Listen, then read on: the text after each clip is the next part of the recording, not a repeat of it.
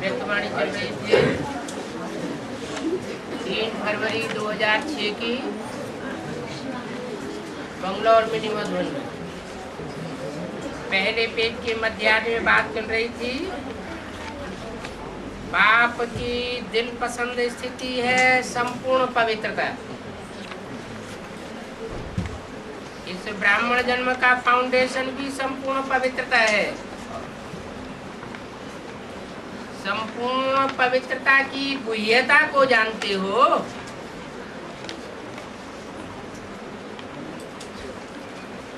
संकल्प और स्वप्न में भी रिंचक मात्र पवित्रता का नाम निशान न हो। बाप दादा, आजकल के समय की समीपता प्रमाण बार बार अटेंशन खिंचवा रहे हैं। कि संपूर्ण पवित्रता के हिसाब से व्यर्थ संकल्प आ जाना। अथवा स्वप्न में भी यह पवित्रता आ जाना। ये भी संपूर्णता नहीं है। तो चेक करो। कोई व्यर्थ संकल्प चलते हैं किसी भी प्रकार के व्यर्थ संकल्प संपूर्णता से दूर तो नहीं कर देते हैं। जितना जितना पुरुषार्थ में आगे बढ़ते जाते हैं उतना ही रायल रूप के व्यर्थ संकल्प व्यर्थ समय समाप्त तो, तो नहीं करते हैं। ऐसे क्यों होता है? जैसे जैसे पुरुषार्थ की सीढ़ी चढ़ते जाते हैं ऊँची स्टेज में जाते हैं तो तूफ़ान और तेज़ी से आते हैं। पहाड़ों पर भी चढ़ाई चढ़ते हैं तो क्या होता है? जैसे जैसे ऊँची चोटी पर जाते हैं तूफ़ान तेज होता जाता है। और यहाँ? यहाँ तो रील घूम रही है। चार युगों की, चार सीन की, ये ड्रामा की रील घूम रही है। सत्युगी शूटिंग, त्रेता युगी शूटिंग, द्वापर युगी शूटिंग, कलयुगी शूटिंग। और अभी कलयुगी शूटिंग के अंत में भी अंतराल का चक्र।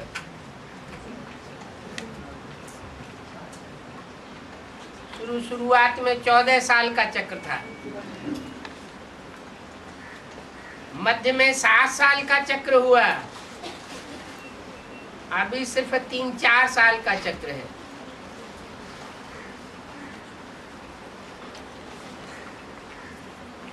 तो जो कलयुग के अंत में सीढ़ी उतरते समय अवस्थाएँ नीचे गिरती रही है, उसकी शूटिंग में पहचान तो होनी चाहिए ना। परिस्थितियाँ दिन प्रतिदिन गिरती जा रही हैं। और पुरुषार्थ की प्रैक्टिस बढ़ती जा रही है। समस्याएँ भी बढ़ती जा रही है। फिर भी संकल्पों को कंट्रोल करना भी मुश्किल होता जा रहा है।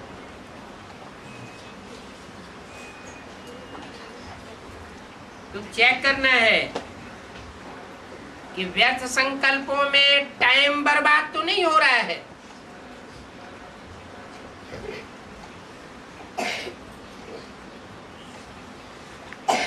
रायल रूप में अभिमान और अपमान व्यर्थ संकल्प के रूप में वार तो नहीं करते हैं।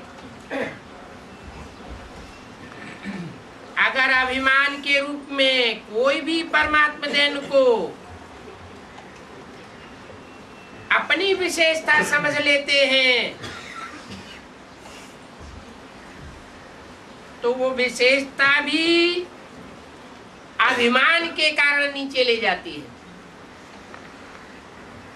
मान लो ज्ञान सुनाने की ही विशेषता है। या दिव्य गुणों की विशेषता है। या दृष्टि के फोर्स की भी विशेषता है। या अपने प्योरिटी के वाइब्रेशन की विशेषता है। लेकिन अगर उसका अभिमान आता है तो वो अभिमान ज़रूर नीचे ले जाता है। विघ्न रूप बन जाता है।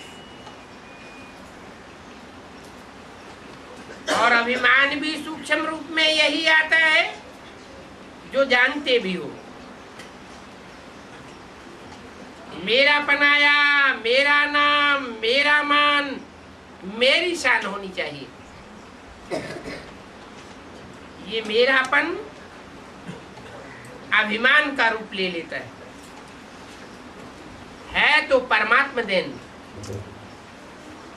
लेकिन उसमें अभिमान मिक्स हो जाता है। ये व्यर्थ संकल्प भी संपूर्णता से दूर कर देते हैं। क्योंकि बाप दादा यही चाहते हैं। प्रमाण और अभिमान न हो। समान तो हो। किसी का अपमान भी न हो। जहाँ अभिमान आएगा, वो अभिमान या देहभान दूसरों का अपमान ज़रूर करेगा। तो यही कारण बनते हैं व्यर्थ संकल्प आने के लिए। बाप दादा हर बच्चे को डबल मालिकपन के निश्चय और नशे में देखना चाहते हैं। ये डबल मालिकपन क्या है? एक तो बाप के खजानों के मालिक। कौन कौन से खजाने मिले हैं? ज्ञान का खजाना तो मिला ही है। इसके अलावा ज्ञान जितना बुद्धि में होता है, उसके आधार पर और कौन कौन से खजाने मिले हैं? दिव्य गुणों का खजाना मिला है और शक्तियों का खजाना मिला है। तो बाप के खजाने हैं। पहले ये खजाने नहीं मिले हुए थे।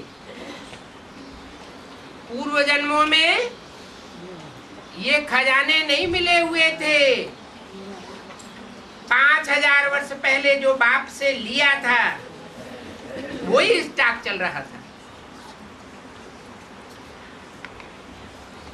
तो इस समय बाप के दिए हुए खजानों के मालिक और दूसरा स्वराज्य के मालिक। स्वराज्य क्या होता है? स्व माने आत्मा। आत्मा का राज्य क्या होता है? राजा ऊँची स्टेज पर बैठता है, सिंहासन पर बैठता है। और राजधानी में बैठ करके सिंहासन पर बैठ के सारे राज्य को कंट्रोल करता है। इस शरीर का राजा कहाँ बैठा हुआ है? प्रकृति के मध्य में अकाल तख्त पर बैठा हुआ है। यहाँ बैठ करके कौन सा स्वराज्य चला रहा है संगम युग में? ये आत्मा रूपी राजा कोई राज्य का मालिक है या नहीं है? क्या दूसरों के ऊपर कंट्रोल चलाने की बात है? यहाँ दूसरों के ऊपर कंट्रोल चलाने की बात नहीं। दूसरों का राजा नहीं बनना है। दूसरों पर आर्डर नहीं चलाना है। उनको स्नेह से चलाना है। भाईचारे से चलाना है। लेकिन कंट्रोल किसके ऊपर करना है? जो भी आत्मा के नज़दीक सबसे पहले बैठे हुए हैं।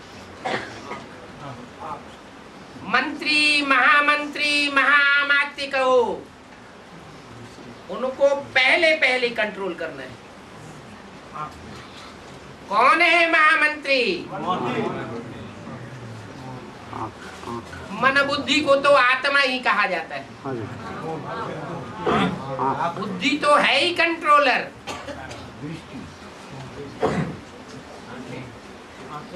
लेकिन जो कर्मेंद्रिया और ज्ञानेन्द्रिय है, उनमें ज्ञानेन्द्रिया सर्वोपरि है। उनमें कौन सी इंद्रियाँ हैं जो बहुत चंचल होती है? ज्ञान में आए थे तब उतनी चंचलता नहीं थी। फिर चार अवस्थाओं में से गुजरते हैं तो शूटिंग होती जाती है रील खुलती जाती है और इंद्रियों की चंचलता भी बढ़ती जाती है। और याद की प्रैक्टिस भी बढ़ती जाती है। तो पहली पहली इंद्रियाँ कौन सी हैं जो बहुत चंचल होती है? आँखें। आँखें बहुत धोखा देती है। मुरली में बोला है, चेक करना चाहिए शाम को सोते समय। सारा दिन भी चेकिंग करनी चाहिए। मेरी आँख ने कितनी बार धोखा दिया? दस, बीस, पचास भूले तो रोज ही करते होंगे। फ़र्स्ट क्लास पुरुषार्थी होंगे तो दस बार करते होंगे। मीडियम होंगे तो बीस, पच्चीस बार करते होंगे। और थर्ड क्लास पुरुषार्थी होंगे तो पचास भूले भी सारा दिन में दृष्टि की चंचलता की ज़रूर करते होंगे।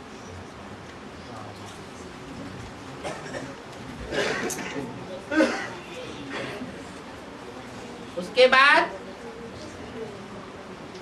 कौन सी इंद्रिय है? ये तो हुई सर्वोपरि। ज्ञान इंद्रिया। उसके बाद कर्ण इंद्रिया। सुनी सुनाई बातों से भारतवासियों ने बहुत दुर्गति पाई। तो कानों को देखना है। कि ये बाप की बात सुनते हैं या औरों की भी सुनने लग पड़ते हैं? कहा रस लेते हैं? बाप ने जो बोला, उन बातों में बुद्धि ज़्यादा जाती है, कर्ण इंद्रिय के साथ या मनुष्य मात्र जो भी कुछ बोलते हैं उन बातों को सुनने में बुद्धि ज़्यादा जाती है।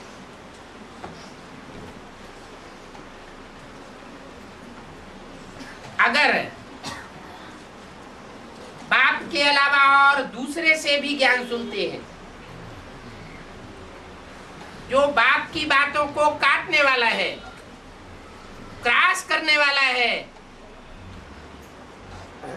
तो ऐसा ज्ञान सुनने वाला बेविचारी ज़रूर बनेगा।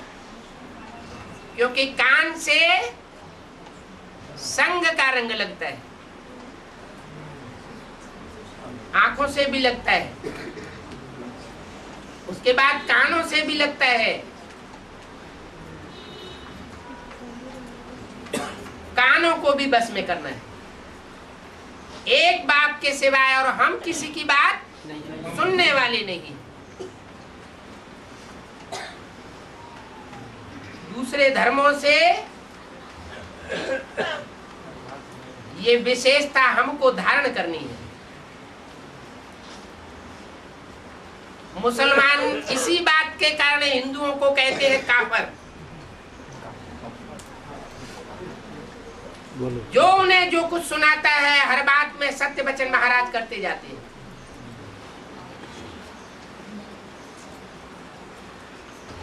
नीचे गिरते जाते हैं। दूसरे धर्म की आत्माएँ कभी भी किसी की बात नहीं सुनती। जो भारत के देवताएँ थे, वही द्वापर युग से दूसरे दूसरे धर्म पिताओं की बातें सुनते चले आए और दूसरे दूसरे धर्मों में कन्वर्ट होते चले गए। हिंदू ही कन्वर्ट हुए हमेशा। जो दूसरे धर्म के होते हैं, पक्के। जो द्वापर कलयुग में आने वाली आत्माएँ हैं और दूसरे धर्म की आत्माएँ हैं, वो कभी कन्वर्ट नहीं होती। भगवान बाप आएगा, तब की बात दूसरी है। तब भी बाद में कन्वर्ट होंगी, जब उनके मुखिया कन्वर्ट हो जाएँगे। इतने पक्के होते हैं। यहाँ भी बोला हुआ है, जो आधार मूर्त जड़े हैं, जो बीज रूप आत्माएँ हैं, उनके उनके जो मुखिया हैं और उनके जो फॉलोअर्स हैं, उनके बारे में बोला हुआ है, जो जिस धर्म का होगा, वो उसी की बात मानेगा। और भगवान भी उतर आए और समझाया कि ब्रह्मा भी उतर आए। तो भी ब्रह्मा की बात प्रजापिता ब्रह्मा की बात नहीं मानेगा। साफ़ कह देते हैं। दादी जी को सीधा समझाओ। आपकी बातें सब अच्छी है लेकिन हम मानने वाले नहीं है। इससे क्या साबित हुआ? कि जिस धर्म की दादी होंगी, उसी धर्म के वो पक्के हैं। तो कान कच्चे हैं या पक्के?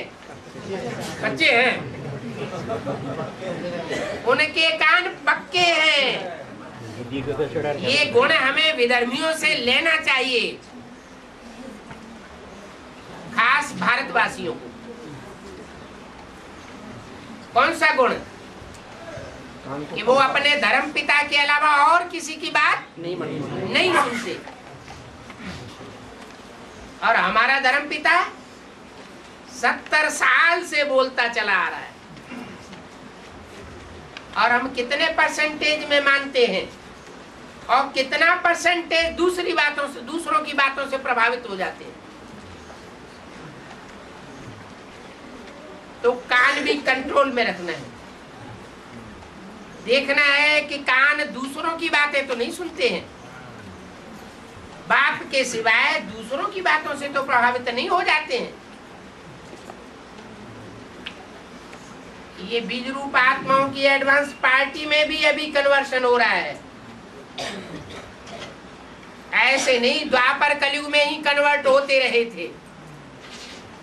अभी जो ब्राह्मणों की दुनिया के एडवांस पार्टी के भांति हैं, वो भी सुनी सुनाई बातों के आधार पर कन्वर्ट होते चले जा रहे हैं। आधार मूर्तों की तो बात ही छोड़ दो।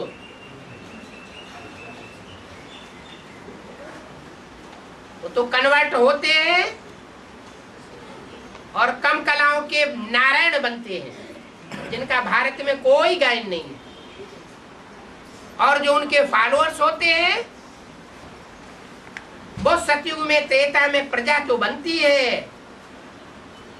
लेकिन वो भगवान की बातों पर कोई गौर नहीं करती। भले डायरेक्ट भगवान उनको सुनाए तो भी उनके ऊपर कोई असर नहीं पड़ने वाला। तो कानों को भी देखना है। ये कान व्यभिचारी तो नहीं बनते हैं। ऐसे नहीं कि कामेंद्रियाँ ही व्यभिचारी बनती है। सब इंद्रियों का यही हाल है। व्यभिचारी बनने से नीचे गिरते हैं। कान के बाद नाक। नाक क्या करती है? है? नाक जो घ्राण इंद्रिय है, उसमें सबसे तीखा जानवर कौन सा होता है? कुत्ता। वो सुंगा सांगी बहुत करता है। इसने क्या किया? ये क्या कर रहा है? इनकी ज़िंदगी कैसे चल रही है? सबकी लू पोल से देखता रहता है, सूंघता रहता है।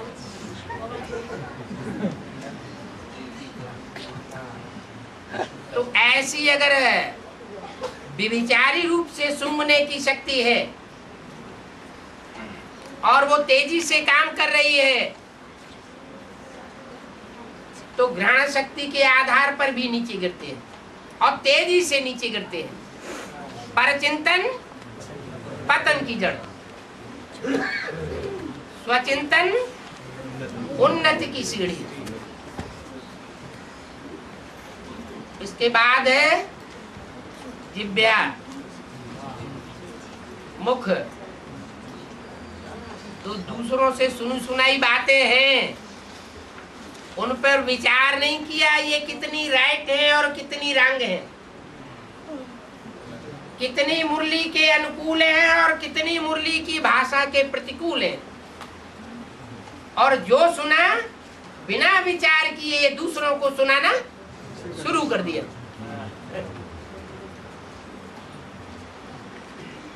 सदगुरु निंदक ठौर न पावे।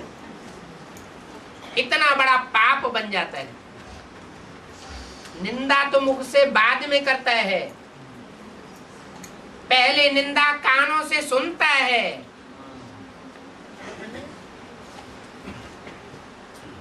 तो कान से भी विकर्म मुख से भी विकर्म होता रहता है। उल्टा उल्टा ज्ञान सुनाने लग पड़ता है। और ऐसा उल्टा ज्ञान सुनाने वाली आत्माएँ देवहन में आकर के ऐसा करती है। उन्हें ईर्ष्या पैदा होती है कोई से। तब दूसरों की गिलानी करती है। खुद पुरुषार्थ में उतना आगे नहीं बढ़ पाती। कमज़ोर होने के कारण तो ग्लानी का रास्ता अपना लेती।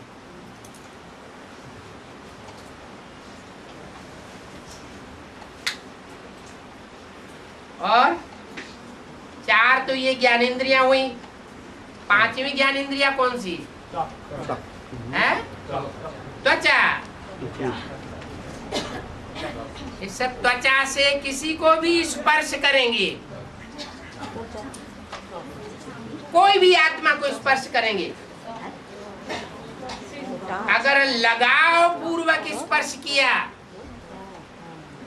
तो बैटरी ज़रूर डिस्चार्ज होगी। आत्मा रूपी बैटरी है ना, वो ज़रूर डिस्चार्ज होगी। खुदा न खास्ता धोखे धड़ी में कहीं बस में जाते, टेंपो में जाते। टच हो जाए तो बात दूसरी है। लेकिन लगाव पूर्वक जो टच होता है, उससे संग का रंग ज़रूर लगता है। एक शिव सुप्रीम सोल ऐसा है जिसको कोई भी प्रकार का संग का रंग नहीं लगता।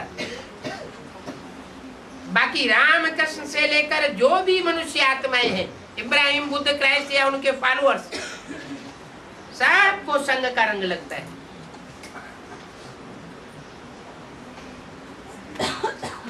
ये संग का रंग, संग तारे, कुसंग बूढ़े। जैसे दृष्टि का संग का रंग नीचे ले जाता है,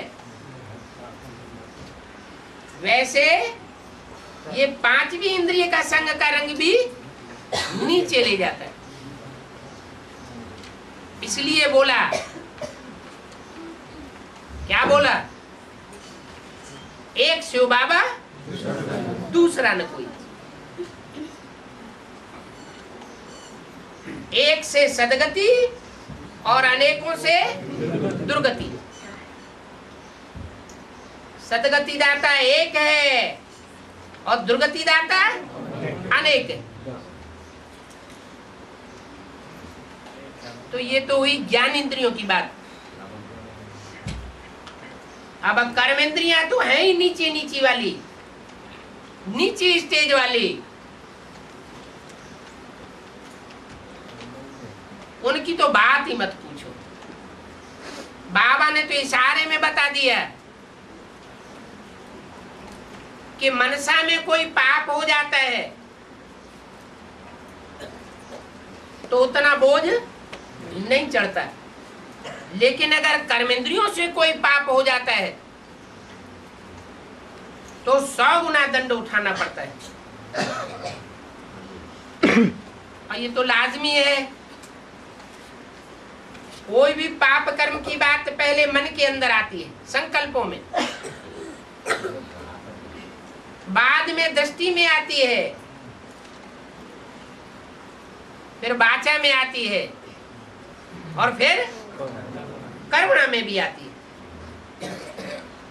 अगर उसे बीच में रोका नहीं दी गया, लगाम नहीं लगाई गई मन को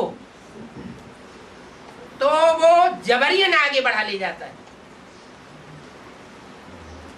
इसलिए बोला कि बाप के खजाने जो मिले हुए हैं, उनके तो मालिक है ही संगम युग में। लेकिन ये भी देखना है कि हम स्वराज्य के कितने मालिक बने। ये दस इंद्रियों के ऊपर और मनरूपी ग्यारहवीं इंद्रिय है। ये भी जड़त्वमयी है। इसकी लगाम को अगर, बुद्धि की जो लगाम है, अगर उसको कस के नहीं रखा तो ये मनरूपी घोड़ा गड्ढे में ज़रूर ले जाएगा।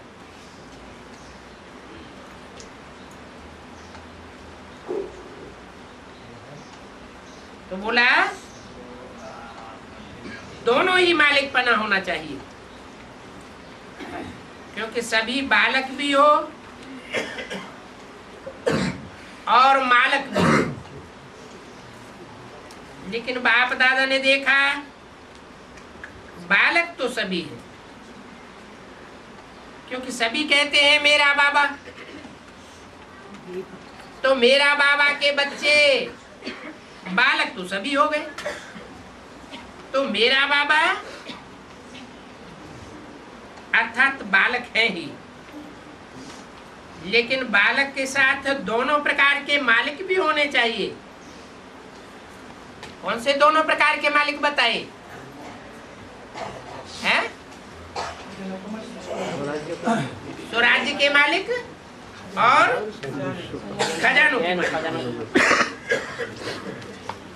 तो देखा जाता है, इस डबल मालिक पने में नंबर बार हो जाते हैं। बालक पने में बालक तो सब समान है। लेकिन मालिक बनने में नंबर बन जाते हैं। मैं बालक तो मालिक हूँ वर्षे का खजाना प्राप्त है, इसलिए बालकपन का निश्चय और नशा रहता है। लेकिन मालिकपन का प्रैक्टिकल में निश्चय का नशा, उसमें फिर नंबर बार हो जाते हैं। स्वराज्य अधिकारी मालिक इसमें बिगे विशेष विघन डालता है मन। क्या? दस इंद्रियाँ तो हैं, लेकिन इन दसों इंद्रियों को चलाने वाला कौन है? मन। ये मन बहुत विघन डालता है। मन के मालिक बन कभी भी मन के परवश नहीं हो जाना। चेक करना। ये मन हमें अपने तरीके से तो नहीं चलाता है। कहते हैं स्वराज्य अधिकारी। तो स्वराज्य अधिकारी अर्थात राजा है। जैसे ब्रह्मा बाप ने हर रोज चेकिंग करके मन के मालिक बन करके विश्व के मालिक पने का अधिकार ले लिया। किसने ले लिया? है? ब्रह्मा बाबा ने विश्व के मालिक पने का अधिकार ले लिया? ले लिया कि अभी भी पढ़ाई पढ़ रहे पढ़ रहे हैं? तो पढ़ाई पूरी नहीं हुई, विश्व के मालिक बन गए? फिर है? बोला तो स्वराज्य अधिकारी अर्थात राजा है। जैसे ब्रह्मा बाप ने हर रोज चेकिंग करके मन के मालिक बन, विश्व के मालिक का अधिकार प्राप्त कर लिया।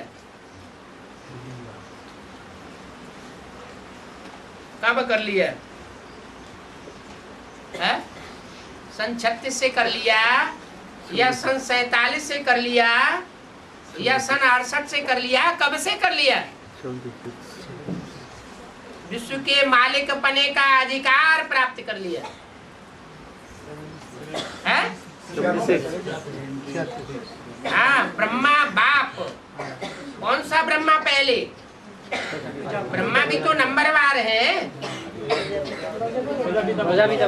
या एक साथ पाँचों ब्रह्मा हो जाते हैं। नंबरवार है। तो जिस नंबर से ब्रह्मा है उसी नंबर से उनको प्राप्ति भी होती है। तो पहले पहले नंबर के तीन ब्रह्मा कौन हुए?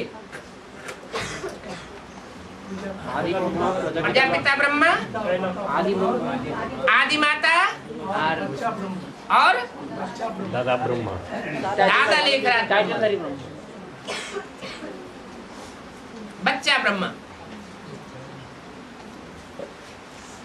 तो ब्रह्मा बाप ने हर रोज चेकिंग करके मन के मालिक बन विश्व के मालिक पने का अधिकार प्राप्त कर लिया ऐसे ये मन बुद्धि राजा के हिसाब से ये मन मंत्री है। क्या? बुद्धि है राजा। और मन है मंत्री। ये संकल्प और विकल्प करके बुद्धि रूपी राजा को फैसला करने का मौका भी देता है। बुद्धू राजा होगा। तो बुद्धि अप्लाई नहीं करेगा। और मन जो फैसला दे देगा, उसी पे चल पड़ेगा। तीन मूर्तियों में मन का पार्ट बजाने वाला कौन? और बुद्धि का पार्ट बजाने वाला कौन? और संस्कार परिवर्तन, संस्कार शक्ति। वो विष्णु है? जब तक मन संकल्प विकल्प नहीं करे, तब तक राइट और रंग का पता नहीं चल सकता। रावण की भी पहचान चाहिए तो प्रैक्टिकल में राम का पाठधारी कौन है, वो भी पहचान चाहिए।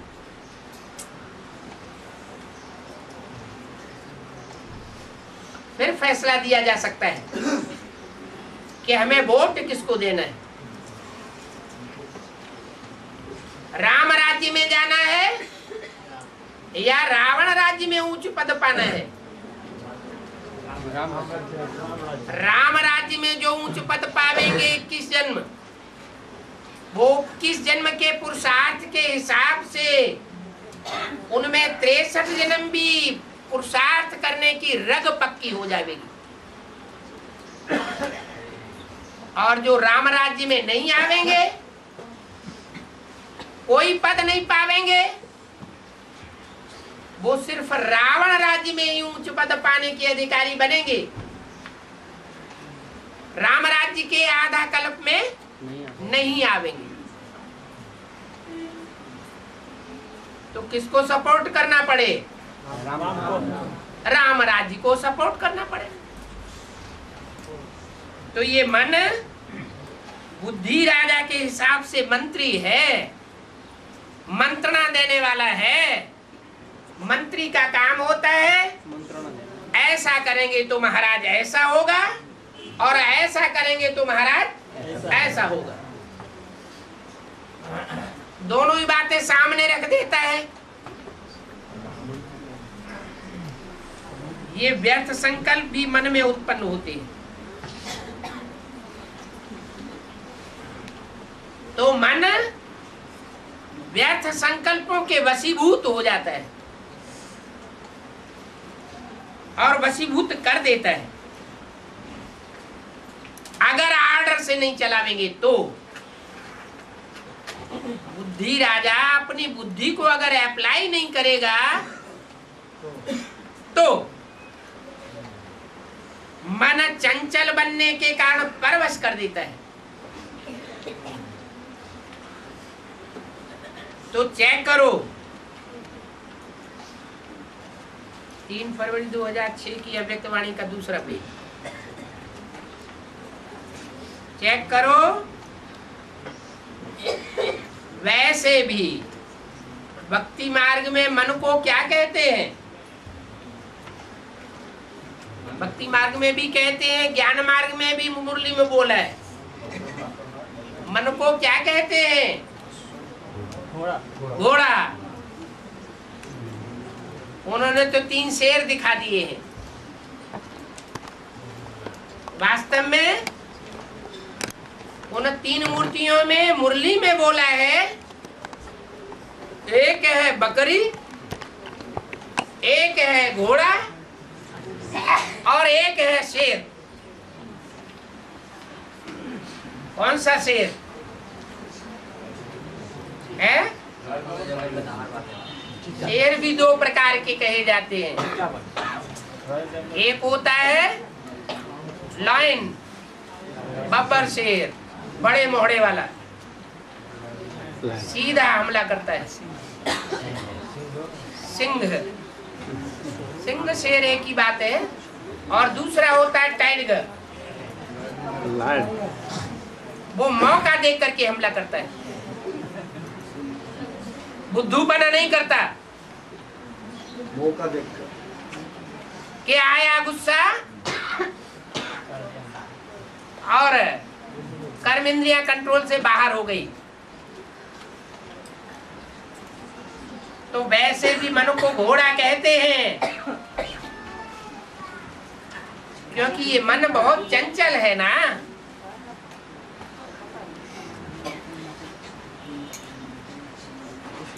घोड़े को कंट्रोल करने के लिए क्या लगाते हैं?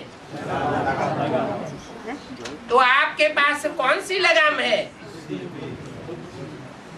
आपके पास है बुद्धि तो विकारी भी होती है और बुद्धि निर्विकारी भी होती है। लेकिन आपको कौन सा लगाम मिला? क्या तिरसठ जन्मों में बुद्धि नहीं थी? तिरसठ जन्मों में हमारे पास बुद्धि थी या नहीं थी? थी। तो लगाम नहीं थी। तो विकारी बुद्धि था। बुद्धि थी लेकिन श्रीमत की लगाम नहीं थी। तो ये श्रीमत है लगाम। अगर श्रीमत का लगाम थोड़ा भी ढीला कर देते हैं थोड़े भी अलबेले हो जाते हैं मन की मत पर चल पड़ते हैं या मनुष्य मत पर चल पड़ते हैं और लगाम ढीली कर देते हैं। श्रीमत के ऊपर विचार नहीं करते। तो मन बहुत चंचल बन जाता है। ये मन क्या समझता है? इतना चंचल बन जाता है, जो समझ बैठता है कि मैं गीता का भगवान हूँ।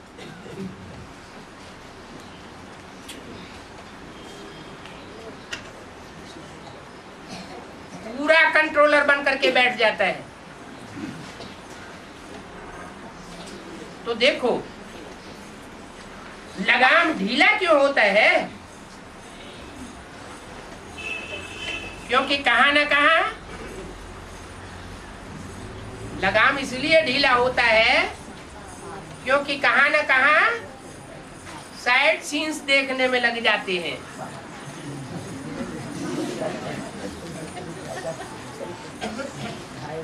कि जो साइड सीन देखने में लग जाते हैं तो मन रूपी घोड़े को मौका मिल जाता है। चांस मिल जाता है। तो मैं बालक सो मालिक हूँ। इस स्मृति में सदा रहो। चेक करो। खजाने का भी मालिक तो खजाने का भी मालिक तो स्वराज्य का भी मालिक। मैं डबल मालिक हूँ। अगर मालिकपन कम होता है तो संस्कार ही मर्ज हो जाते हैं। क्या अच्छे बुरे संस्कार होते हैं ना पूर्व जन्मों के। इस जन्म के भी होते हैं। इस जन्म में भी संस्कार पक्के होते हैं और पूर्व जन्म में भी संस्कार पक्के हो जाते हैं। अच्छे संस्कार भी पक्के होते हैं और बुरे संस्कार भी पक्के होते हैं। मान लो इस जन्म में किसी ने दो चार हत्याएँ कर दी तो संस्कार पक्का हो जाता है। बुद्धिमाता, ये तो मेरे बाएँ हाथ का खेल।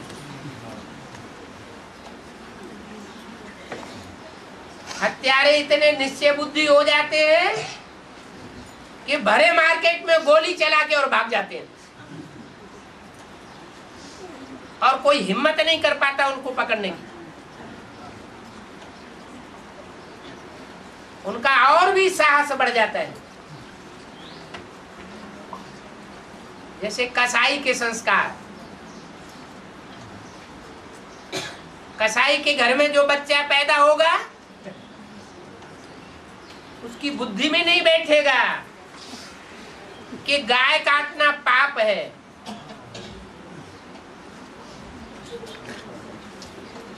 एक दो बार किसी ने गलती की होगी पहली बार दूसरी बार तो मन खाएगा। लेकिन बार बार वो गलती होती है तो संस्कार पक्का हो जाता है।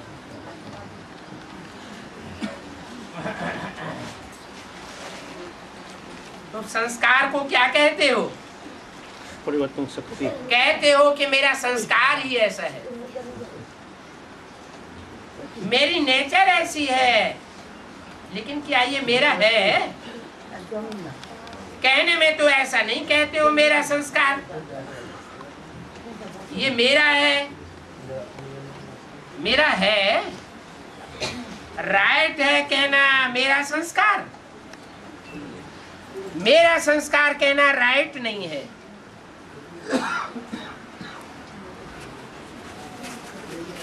ये मेरा संस्कार है। कुछ संस्कार की बात हो रही है। दुष्ट संस्कार की। ये खराब संस्कार मेरा है या रावण की जायदाद है खराब संस्कार कब से पढ़ना शुरू हुए? द्वापर युग से। उससे पहले तो ये दुष्ट संस्कार नहीं थे। तो जो रावण की जायदाद है, उसको मेरा कैसे कह सकते हैं? मेरा संस्कार कौन सा है? है? अरे अच्छा द्वापर युग से तो रावण का संस्कार है। फिर मेरा संस्कार कौन सा है? है? अरे रावण का संस्कार तो ये द्वापर युग से आया है। ये कुछ कुछ संस्कार मेरे अंदर जो भी है, वो रावण के संस्कार है। फिर वास्तव में आखिरी मेरा संस्कार कौन सा है? जो राम बाप का संस्कार तो मेरा संस्कार। अच्छा राम बाप रावण राज्य में नहीं आता है क्या? है? फिर? है? राम रावण बनता है और क्या? धीरज भाई धरे धीरज धरे बैठे हैं। क्या हमारे अंदर संस्कार हैं सो तो है राम भी तो रावण बनेगा। है? तो? आखिर मेरे संस्कार कौन से हैं? मैं आत्मा क्या द्वापर युग से आई हूँ? या सत्युग त्रेता में भी थी? वहाँ भी थी? तो मेरे संस्कार कौन से हैं? हैं? जो नारायण के संस्कार, नर नारायण के जो संस्कार, वो मेरे संस्कार। प्रैक्टिकल में किस स्वरूप को याद करना है? कौन सा स्वरूप? संपन्न स्वरूप है। नारायण का स्वरूप संपन्न रूप है। सत्यनारायण की कथा गाई हुई है।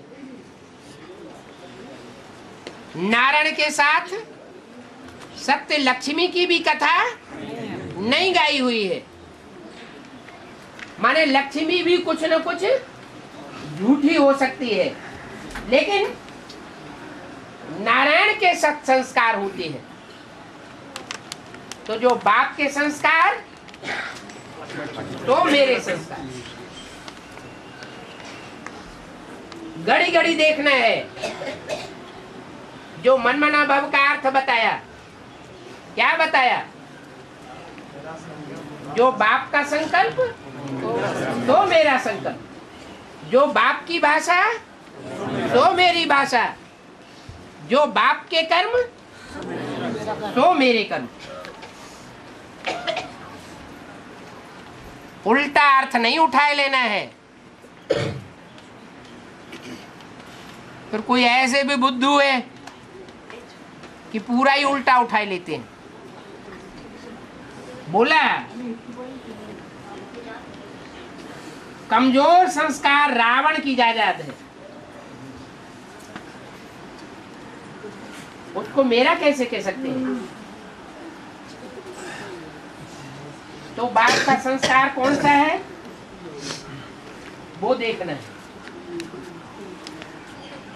मुख्य संस्कार बताए कि बाप का संस्कार कौन सा है मुख्य? अरे। नहीं। स्थापित करना रावण का संस्कार और बाप का संस्कार। रावण द्वापर से आता है, द्वैतवादी युग से आता है। और राम और राम राज्य अद्वैत राज्य से आता है। अद्वैत माने सारी दुनिया में एक राज्य, एक भाषा। एक कुल, एक धर्म होगा। माना सारे विश्व का कल्याण हो। रावण अपने देह अभिमानी बच्चों का पहले कल्याण चाहेगा। राक्षसों का पहले कल्याण चाहेगा। या देवताओं का भी कल्याण चाहता है। उसका कहना ही है, अंधेरा कायम रहेगा। जो ज्ञान सूर्य से संस्कार आता है, सारे संसार को रोशनी देना। ऐसे नहीं कि सिर्फ़ देवताओं को ही रोशनी देनी है। ज्ञान की रोशनी सारे विश्व को देनी है। तो बाप का संस्कार क्या हुआ? विश्व कल्याण। बाप विश्व कल्याणकारी है। तो विश्व पिता के रूप में गाया हुआ है। विश्व का मालिक बनता है। तो ये विश्व कल्याण का संस्कार, सो हम बच्चों का संस्कार। सबके प्रति शुभावना शुभकामना। तो कोई भी कमज़ोर संस्कार को मेरा संस्कार कहना दे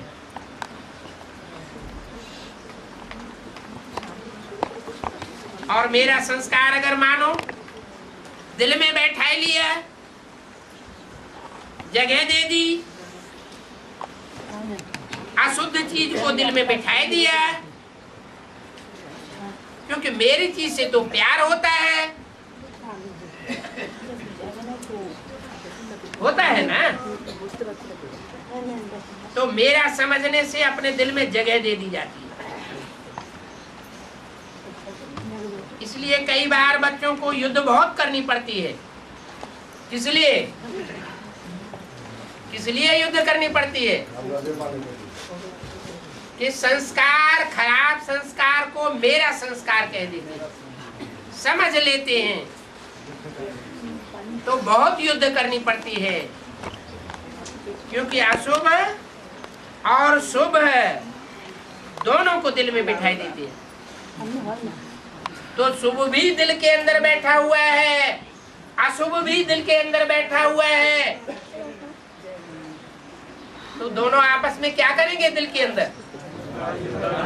लड़ाई लड़ेंगे। युद्ध करेंगे। जब ये संकल्प में आता है, वाणी में भी आता है, मेरा संस्कार। तो चेक करो, ये अशुभ संस्कार मेरा संस्कार नहीं है। तो फिर संस्कारों को परिवर्तन करना पड़े बाप दादा हर एक बच्चे को पदम गुना भाग्यवान चलन और चेहरे से देखना चाहते हैं। कई बच्चे कहते हैं, भाग्यवान तो बने हैं, लेकिन चलते फिरते भाग्य इमर्ज हो जाता है।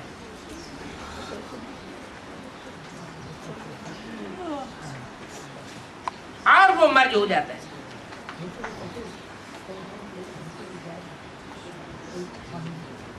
और बाप दादा हर समय हर बच्चे के मस्तक में भाग्य से भाग्य का सितारा चमकते हुए देखते हैं। देखना चाहते हैं। तो भाग्य को इमर्ज करके रखना चाहिए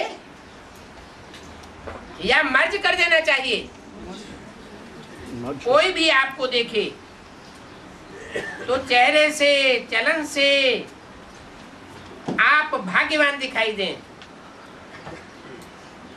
तब आप बच्चों द्वारा बाप की प्रत्यक्षता होगी। क्योंकि वर्तमान समय मेजॉरिटी अनुभव करना चाहते हैं।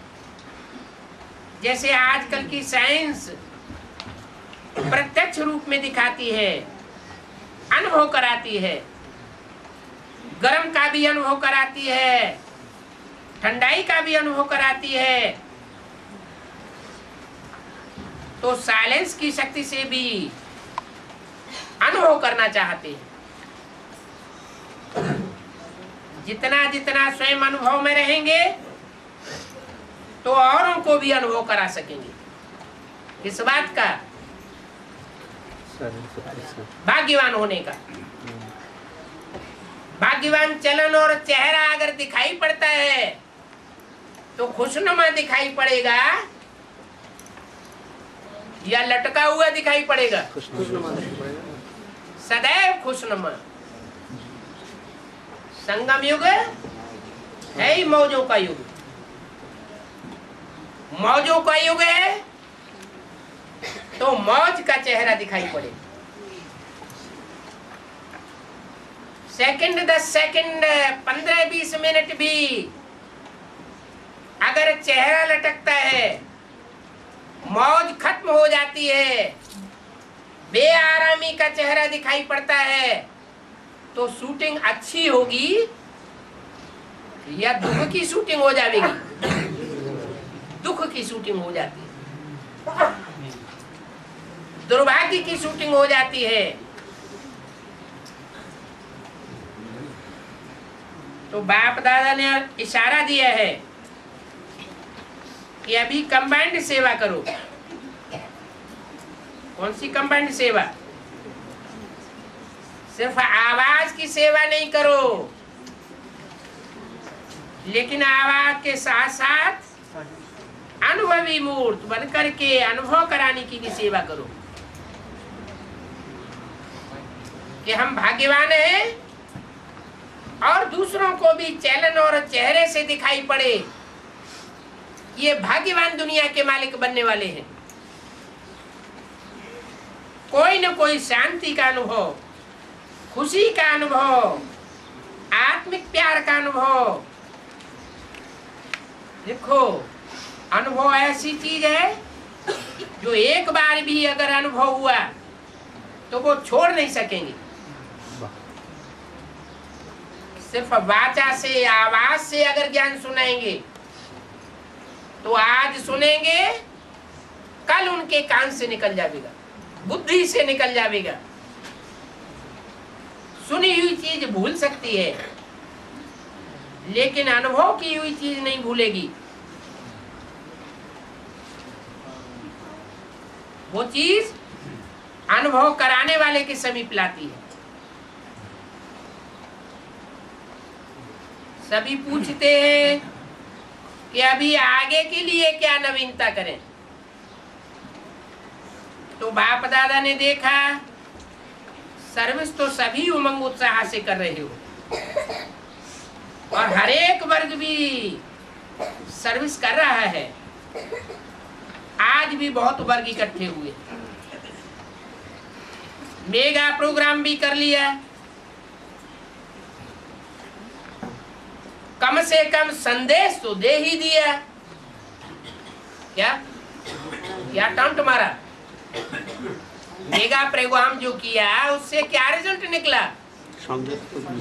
कम से कम संदेश तो दे ही रहे हैं। लेकिन ये संदेश देने का समय है पुरुषार्थ के अंतिम वेला के हिसाब से संदेश देने का समय है। या वारसदार बनाने का समय है। माला बनाने का समय है। अभी कौन सा समय चल रहा है? माला रूपी नई दुनिया का संगठन बनाने का समय चल रहा है। तो मेगा प्रोग्राम से संदेश तो दे दिया। अपना उलहना तो निकाल लिया। इस बात की तो मुबारक हो। लेकिन अब तक ये आवाज़ नहीं फैला है। क्या? न बीके के द्वारा ये आवाज़ फैला है? न एडवांस पार्टी में ये आवाज़ फैला है चारों ओर। क्या? ज्ञान तो सुनाते हैं। पहले क्या आता है? तो पहले ज्ञान आता है। बाद में? ज्ञान पहले आता है और ज्ञानदाता बाद में प्रत्यक्ष होता है। तो ये तो आवाज़ फैला है।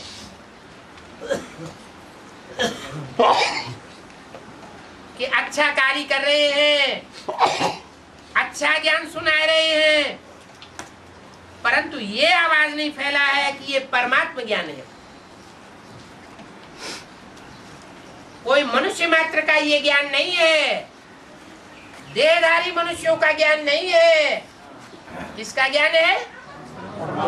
डायरेक्ट परमात्मा का ज्ञान है। ये आवाज़ अभी नहीं फैला है ब्रह्मा कुमार कुमारियाँ कार्य अच्छा कर रहे हैं। इनका ज्ञान बहुत अच्छा है। लेकिन यही परमात्मा ज्ञान है, और ये परमात्मा कार्य चल रहा है, ये आवाज़ फैलनी चाहिए। मेडिटेशन कोर्स भी कराते हो, आत्मा का परमात्मा से कनेक्शन भी जोड़ते हो, लेकिन अब परमात्मा कार्य स्वयं परमात्मा करा रहा है। क्या? परमात्मा कार्य स्वयं परमात्मा करा रहा है। अच्छा? ये मेगा प्रोग्राम परमात्मा करा रहा है। है? परमात्मा ने डायरेक्शन दिया मेगा प्रोग्राम करो। हाँ फिर? फिर कौन करा रहा है? दादी। हैं? दादी दीदी का दी दादी। माने ये संदेश देने का प्रोग्राम परमात्मा नहीं करा रहा जो परमात्मा पार्ट है प्रैक्टिकल में अभी भी जो भी हो, वो ये संदेश देने का कार्य नहीं करा रहा है। मना कर दिया, संदेश देना बंद कर दो। बंद तो नहीं कर दो।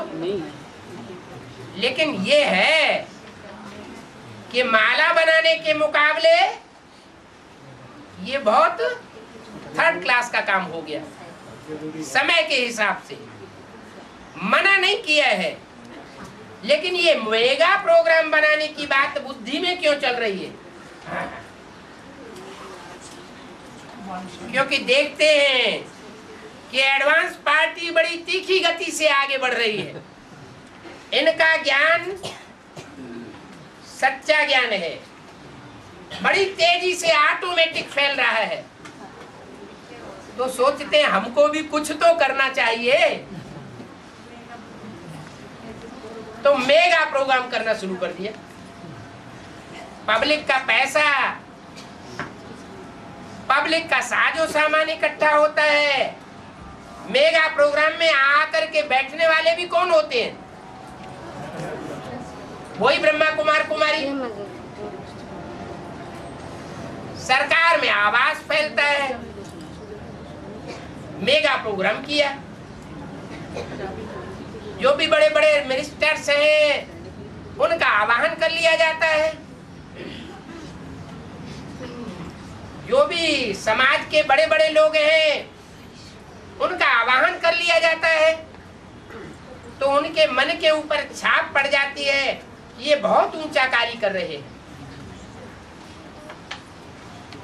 लेकिन अंदरूनी तौर पर देखा जाए तो ये मेगा प्रोग्राम बड़ी बड़ी कॉन्फ्रेंसेस बड़े बड़े मेले बड़ी बड़ी रथ यात्राएँ इन सब कार्यों में बुद्धि डाइवर्ट कराने के पीछे ताकत कौन सी काम कर रही है प्रैक्टिकली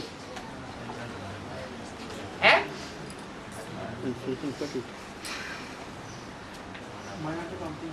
है?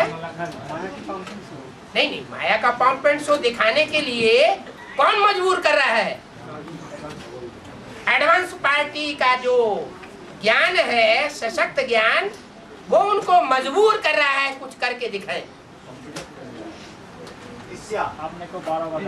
तो परमात्मा डायरेक्ट नहीं कहता है कि मोगा प्रोग्राम करो। लेकिन वो करने के लिए मजबूर है।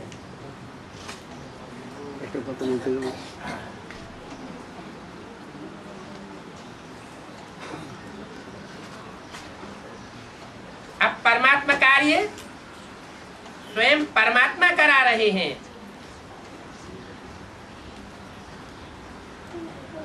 ये बहुत अनुभव कम करते हैं। क्या?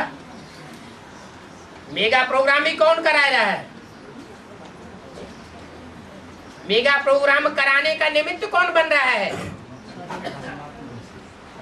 एडवांस पार्टी की जो भी सशक्त आत्माएँ हैं, वो मेगा प्रोग्राम कराने की भी निमित्त बन रही है। लेकिन किसी की बुद्धि में ये आ, ये बात आती नहीं।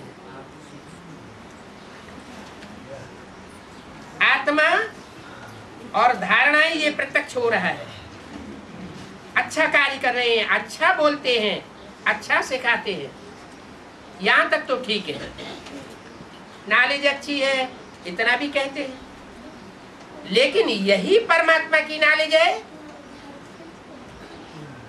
ये आवाज़ बाप के नज़दीक लाएगा।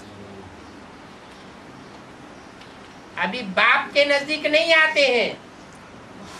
किसके नज़दीक आते हैं? हैं? सुनाने वालों के नज़दीक आते हैं, लेकिन बाप के नज़दीक नहीं आते हैं। जितना जितना बाप के नज़दीक आवेंगे, उतना उतना स्वयं अनुभव करते जावेंगे। और औरों को भी अनुभव करावेंगे।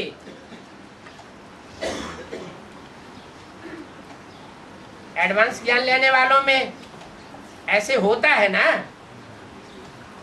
जो ये अनुभव कर लेते हैं, उनकी निशानी क्या होती है? ये अनुभव कर लेते हैं। उनकी क्या निशानी होती है? वो दूसरों को सुनाए बगैर रह नहीं सकते। खुद भी अनुभव करते हैं और दूसरों को भी अनुभव कराने के लिए प्रयास करते हैं और सफल भी होते हैं। लेकिन उनका परसेंटेज कितना है ब्राह्मणों में? ब्राह्मण तो बेसिक नॉलेज वाले भी हैं एडवांस नॉलेज वाले भी हैं। वो परसेंटेज कितना है जो अनुभव करते हैं और अनुभव कराते हैं? हैं? सौ परसेंट ऐसे लोगों का सौ परसेंट है? नहीं जी कम होगा। कितना? कितना है? थोड़ा मैंने कितना? है? फिफ्टी परसेंट अनुभव करा देते हैं। बेसिक नॉलेज के ब्राह्मण और एडवांस नॉलेज के ब्राह्मण। दोनों को मिला करके आधों को अनुभव करा रहे हैं टेन परसेंट भी नहीं है। फाइव भी नहीं है। अरे एडवांस पार्टी में जो भट्टी करके निश्चय बुद्धि निकलते हैं और फिर देहधारी को नहीं पकड़ते हैं पढ़ाने वाले को। डायरेक्ट बाप को पकड़ते हैं। हाँ। ऐसों का परसेंटेज कितना है? वन परसेंट भी नहीं है। ब्राह्मणों में से सौ में से एक भी नहीं निकल रहे हैं अभी। हैं? बहुत कम परसेंटेज है। हाँ ना के बराबर। जो डायरेक्ट बाप को पकड़ते। हैं? तो इस काम का क्या होगा ये हैं? काम का क्या होगा इसका क्या होगा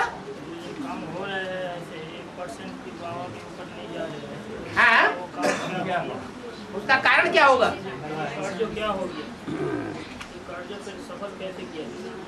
हाँ तो वही तो बता रहे हैं। सभी पूछते हैं कि आगे के लिए क्या नवीनता करें। बोला। बाप के नज़दीक लाने के लिए क्या करना है? अनुभवी मूर्त बनना है। अपने चलन और चेहरे से भाग्यवान दिखाई दे। लटकता हुआ चेहरा न दिखाई दे। थोड़ी सी स्थिति, परिस्थिति आती है और चेहरे लटक जाते